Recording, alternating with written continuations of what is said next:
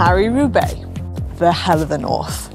It's a bike race like no other. With its long, brutal, bone-rattling cobble sectors, it is undoubtedly one of the toughest races in the pro calendar. Over the years, we have seen all sorts of bike tech being used at the race. We've had special frames made with suspension in, we've had suspension in the forks, the stem, special wheels made, and tyres. We've pretty much seen it all at this race. But what tech are we going to see at the race this year? Well, I've managed to get my hands on two of the bikes from the two teams that won the men's and the women's race last year. So let's go see what they're going to be riding. This is definitely one of my favourite races to watch. Cobbles and finishing on a velodrome. What's not to love? If you want to watch all the action, make sure to head over to GCN Plus to watch live and on demand.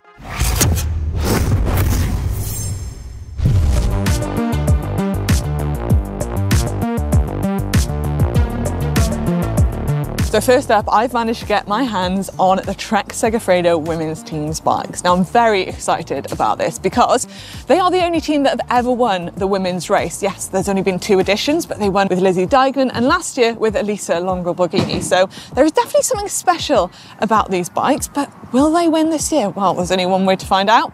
Make sure to tune in over on GCN Plus. But this is the Trek Domane Mark IV, and they've got a brand new paint job for this year, which it looks incredible. I'm a big fan of this paint job. I haven't seen anything quite like this before, but I asked the team mechanics if there's anything, you know, special about the paint job. Does it mean anything, any meaning behind it?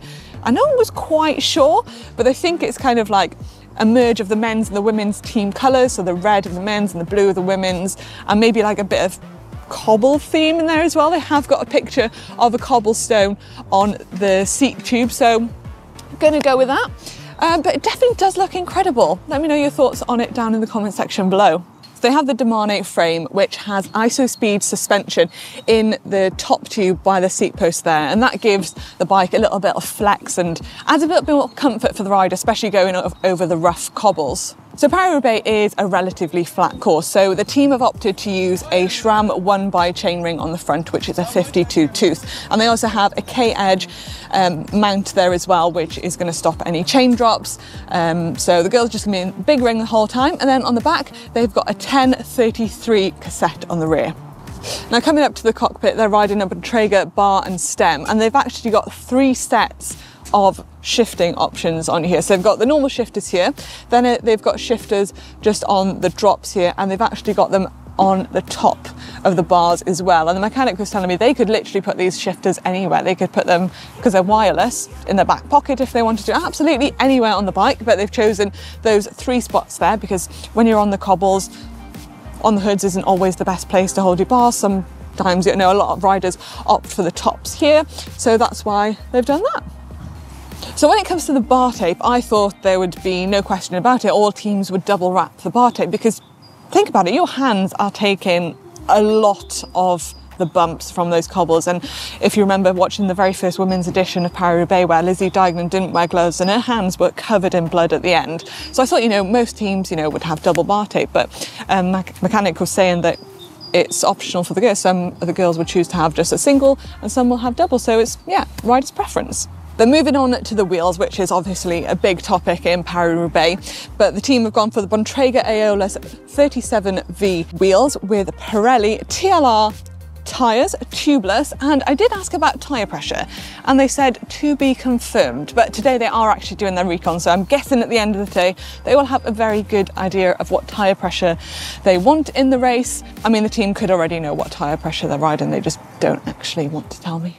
And then right at the bottom of the seat post there, they have got the little race um, mount number, which the race number will be attached to on race day. So the ISO-speed suspension in the frame there actually gives between 10 and 20 mil of flex in the frame, which isn't loads, but it is definitely going to help when it comes to riding on those cobbles. So finishing off the bike, the girls have got a Bontrager saddle and a K-Edge mount with a Wahoo on the front, but a pretty incredible looking bike if I do say so myself. So it's not only a different bike that the team are using, but they're actually using a different car. So they're using the BMW X1, which is a little bit of a bigger car up from the ground a bit more. And I was thinking, oh yeah, to absorb the bumps a little bit more. But it's basically so they don't rip the bottom of the car off when they're going on the cobbles and say if they have to, you know, speed up to a rider in the breakaway where they really have to put the, their foot down on the gas they're not going to take the bottom of the car off. So yeah, they've really thought of everything in this race. It's not just about the bikes, but the cars as well. I am now at the Ineos Grenadiers service course in Belgium. And if you didn't know, a service course is essentially where teams keep all of the bikes, all of the spares. There's literally hundreds of bikes, hundreds of wheel, all the clothing that the team needs. We've got mechanics working on the bikes as well. And I wish I could take you through all of the bikes. But Ineos Grenadiers was actually the team that won Paris-Roubaix last year with Dylan van Baarle. But he's actually moved on to Jumbo-Visma for this year. But I'm still here to see what bike they're going to be using at the race.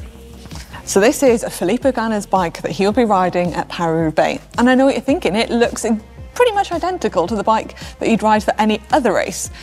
A completely different approach to what the Trek Segafredo's women team have done, where they have a completely different frame with a little bit of suspension. This is pretty much exactly the same setup as he'd drive for any other race, but there are a few little details that they have changed. So let me show you. So one of the changes that they have made is double wrap the bar tape, which I guess is quite standard for Paris-Roubaix. A lot of riders do choose to do it, but mechanics said it is personal preference. But Filippo Ganna has gone for the double bar tape. And again, they have shifters on the top here, which again, personal to the riders. So the mechanic said some riders have it, some riders don't. Filippo Ganna clearly likes to hold the tops there. So he's gone for some extra shifters on the top. So apart from the double wrap in the bar tape, the shifters and the wider tyres, not much has changed for Team Ineos' bike for Paris-Roubaix, but the rest of the bike is still pretty special, so let me take you through it.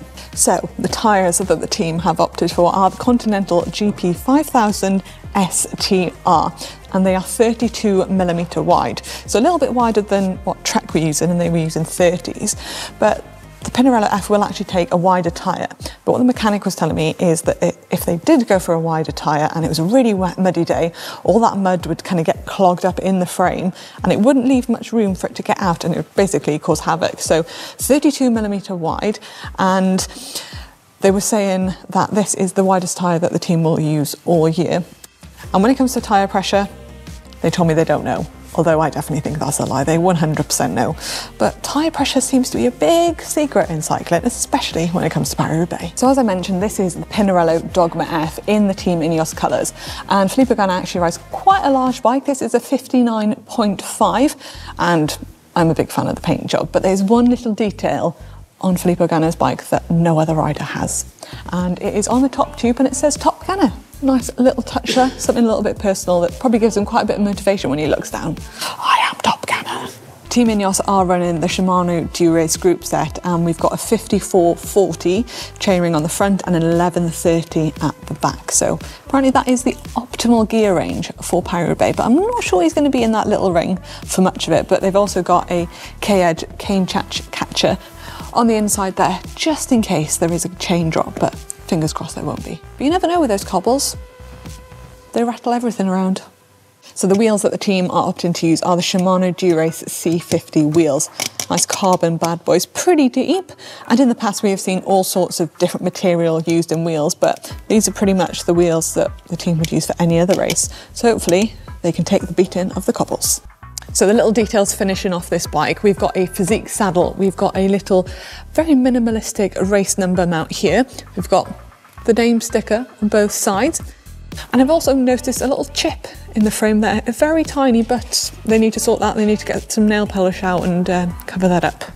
Just a note for Filippo Ganna. So we've got Shimano Dura-Ace pedals, we've got elite water bottle cages and elite water bottles, but I'm just gonna do some tests for him just to make sure his bottles don't fall out on the cobbles. Mm. Yeah, they should be all right.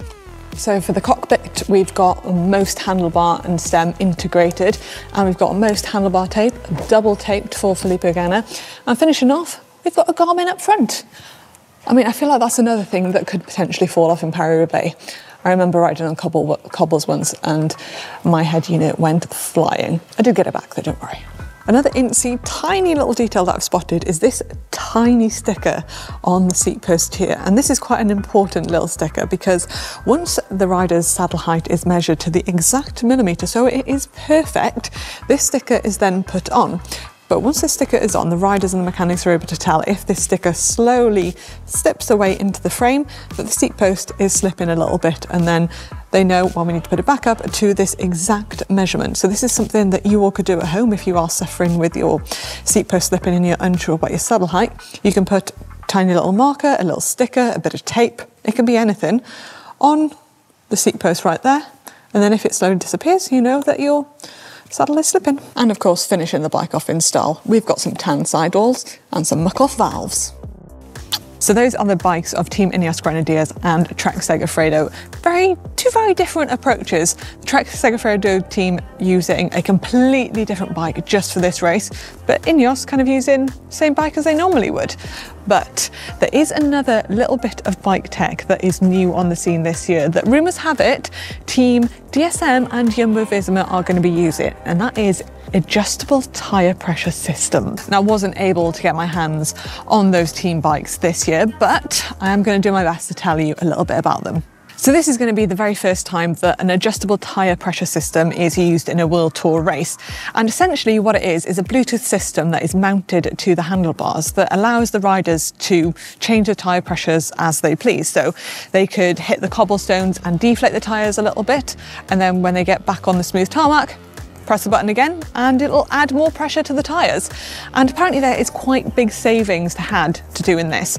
But I really do hope the teams have tested this thoroughly because I would not want to be the rider that is on those cobblestones, lets a bit of air out the tyres, gets onto the smooth tarmac and it doesn't pump back up again. But I'm not too sure how much pressure the riders are going to be letting out of their tyres for the cobbles, but hopefully we can find out after the race. So it's only those two teams, Jumbo Visma and DSM, that we know are going to be using this system in the race. But it'll be really interesting if this is the next big thing in Paris-Roubaix bike tech. I would love to hear your thoughts on it down in that comment section as well. But just chatting from to the Ineos Grenadiers mechanics and the Trek mechanics this morning, they were pretty unsure whether this system is going to work. So be very interesting to see if it does take off. So there we have it, two of the best bikes that will be riding Paris-Roubaix this weekend, but will they come out on top this year? There's only one way to find out. Make sure to head over to GCN Plus and watch the action unfold. But let me know down in the comment section below what you thought of the bikes. And if you were riding, would you ride any different sort of bike tech? I know I would definitely need a bit of suspension on there because those cobbles are absolutely brutal. But if you did enjoy this video, make sure to give it a big thumbs up.